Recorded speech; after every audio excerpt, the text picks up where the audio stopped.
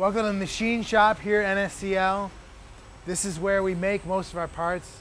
As I've said before, the kind of things that we use here you do not buy at a hardware store. So we build most of our own equipment in-house and it's right here. We've got drills, lathes, mills, saws.